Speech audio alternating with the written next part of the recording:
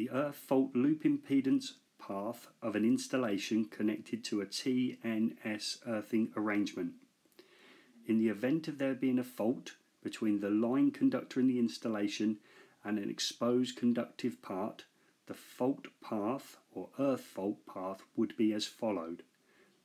The exposed conductive part would become live. This is connected to the circuit protective conductor, the CPC.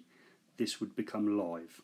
This goes back to the earth terminal situated within the consumer's unit, which would become live. This is connected to the incoming earthing conductor, which comes in with the double insulated meter tails. This earthing conductor becomes live. The earthing conductor is connected to the lead or steel sheath of the supply authority's cable, which becomes live. This is connected to the earth neutral point within the transformer, which becomes live back round the line conductor, completing the circuit. The fault current will pass through the main cutout fuse rated at either 100, 80 or 60 amps, but will not cause operation. The fuse that will operate is the one closest to the fault.